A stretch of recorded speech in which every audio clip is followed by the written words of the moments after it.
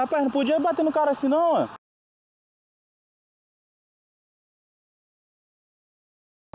Rapaz, tremendo covardia, pô. Eu, sinto na pele como se fosse meu pai, meu pai trabalha na estrada também, ó. Amigos e amigas do canal Portal Rodoviário, tudo bem com vocês? Espero que sim. Pessoal, trazendo para vocês aí mais uma grave denúncia aí envolvendo caminhoneiros e policiais militares. Dessa vez aconteceu no Rio de Janeiro e o negócio foi mais grave. Houve agressão. O meu amigo Bira Nobre, da Manifestação dos Caminhoneiros lá do Espírito Santo, me mandou esse vídeo agora de manhã. Inclusive eu vou colocar um depoimento dele aí na frente, né, explicando toda a situação e quais as providências que a gente espera que sejam tomadas nesse caso.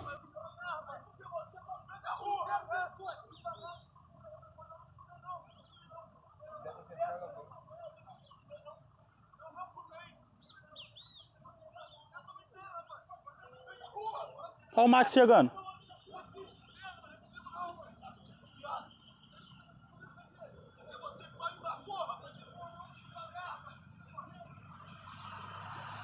Rapaz, não podia bater no cara assim não, ó. Um monte de tapa, um monte de soco na cara do cara, rapaz. Juntaram o cara.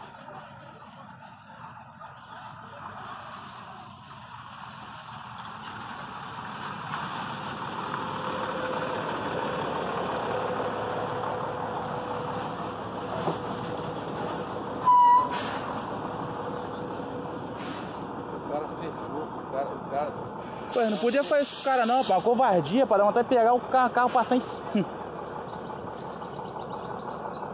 Rapaz, tremendo covardia, pô. Eu, sinto na pele como se fosse meu pai, pô. Meu pai trabalha na estrada também, ó. O cara fechou o caminhão. O cara deve ter fechado ele. Mas só que tem uma coisa, o Ed. Hum. Você vê que o caminhoneiro tem culpa, tá? O caminhoneiro falou assim, eu te joguei em cima que você quase me matou. O caminhoneiro tem culpa. Não ele fala assim, ah não, foi um erro, foi um erro. Desculpa, eu errei, desculpa, eu errei. Você vê que eu joguei você quase me matou. Entendeu? Você viu que o caminhoneiro também não tá muito certo, não. Olha lá.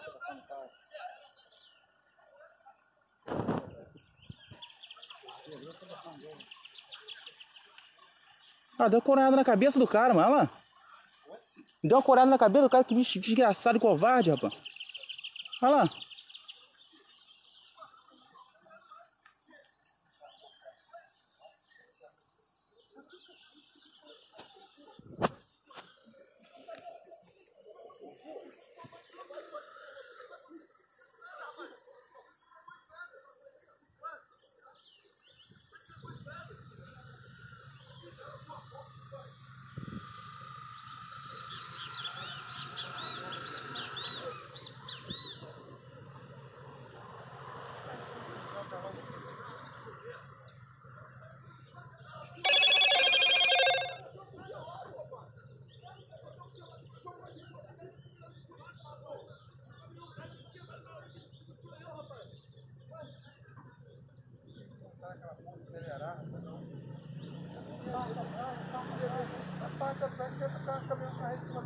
Olha lá, o Fanelli foi quebrou o telefone do cara todinho lá atrás, ó.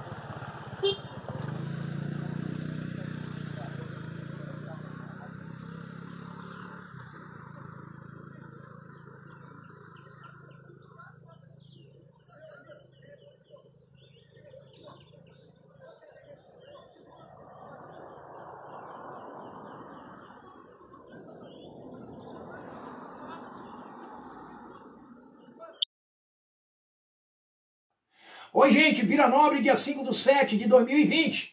Eu venho por meio desse vídeo demonstrar a minha indignação mediante um fato que aconteceu na rodovia estadual do estado do Rio de Janeiro, que liga Campos do Goitacazes a Cantagalo, aonde trafegava o caminhoneiro por Quarreá de Vitão, que ao tentar desviar do buraco foi interpretado pelo motorista de automóvel que ele estaria fechando ele.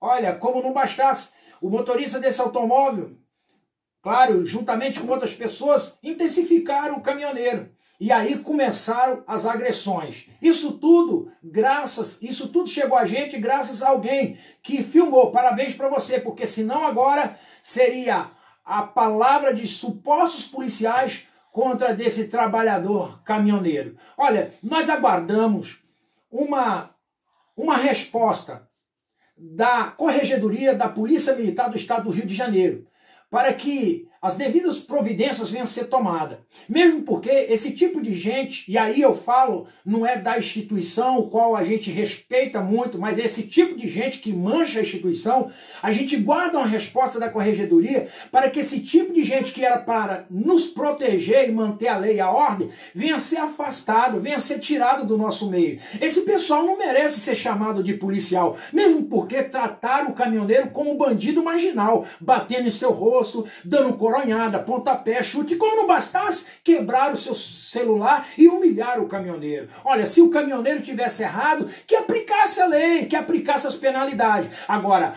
Penalidade não é bater no rosto de ninguém, mesmo porque era um trabalhador. Oh, e por falar em trabalhador, só fizeram isso porque esse camarada estava em posse de um volante e de uma, e de uma alavanca que serve para engrenar seu caminhão, para ele andar por aí e sustentar sua família. Corregedoria da Polícia Militar do Rio de Janeiro. Eu, Bira Nobre do Estado do Espírito Santo. Viu, Vitão? Estamos junto com você e nós repudiamos essas agressões, esse tipo de comportamento que vem de alguém que diz que é policial militar, mas que a gente não enxerga eles como policial militar. Porque policial militar de verdade não age dessa forma. Valeu, um grande abraço de Bira Nobre e compartilhe esse negócio. Bom, pessoal, as imagens falam por si só. As cenas que vocês viram realmente são revoltantes.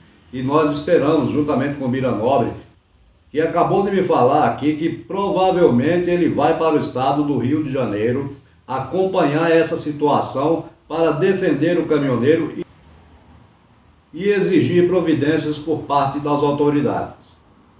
Deixo aqui também a minha completa indignação com esse fato, com todos os fatos que vêm ocorrendo aí entre caminhoneiros e policiais militares, guardas municipais, em todo o Brasil, de norte a sul está acontecendo esses absurdos e esperamos sinceramente que essas coisas parem de acontecer.